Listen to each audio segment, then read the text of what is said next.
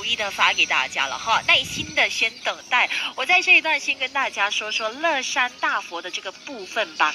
其实乐山大佛哈，说这个之前呢，先问问大家知不知道睡佛这个景点呢？可能大家对它也比较的熟悉。那么乐山大佛它并不是睡着的，它是坐着的，它算是世界上最大的佛像之一了吧？是在唐代的时候建在中。国的这个地方的，是啊，没有错的话是峨眉山附近吧，哈。那当时候呢，我去成都的第二天就是来到了乐山大佛，第三天才是去我上个星期跟大家分享的峨眉山呐。在这个来自成都的联合国教科文组织列表当中呢，就是。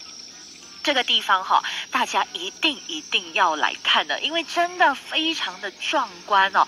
而且当时我做的这个旅行方式是非常的不一样的。我们首先先把车停在外头，然后呢，我们自己要走路进去。在走路进去的时候啊。